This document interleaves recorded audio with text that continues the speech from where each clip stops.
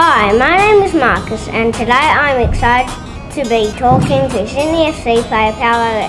Paulo, your dad was a professional soccer player. Did he did he encourage you to play for uh, in a young age? Uh, yeah, he did. He sort of uh, he got me in at about six years old. He uh, started coaching me at the local um, team in Melbourne, uh, in Dev United, and yeah, from there he sort of encouraged me to play. So that's how I started.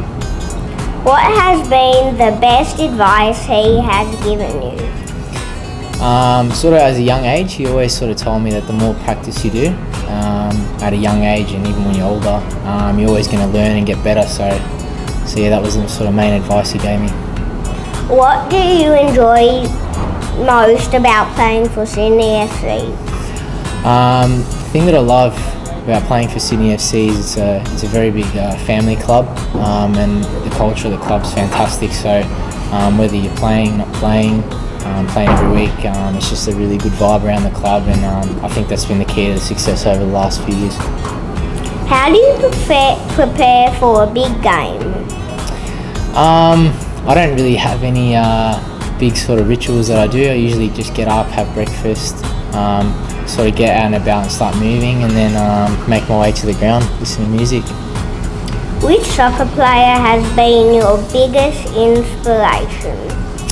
Um, I probably have to say, in terms of uh, inspiration, probably my dad, uh, just because he inspired me to play at a young age. But in terms of um, professional idol, I would have to say probably Cristiano Ronaldo. Do you have any advice you can give young players like me?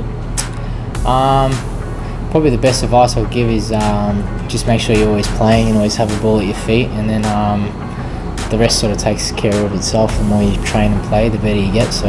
Yeah. Finally, you were born in Melbourne. Do you prefer Melbourne or Sydney, and why? Oh wow, this could get me in trouble. This question. nah, um, I I can't really go past. I'm a Melbourne boy, and I was born there, so um, I I do enjoy Melbourne. But at the same time, um, Sydney's got a big place in my heart, and I've uh, really enjoyed playing and living in Sydney as well. Thank you so much for chatting to me today. Good luck for the rest of the season. Thanks, Marcus. Thanks, mate.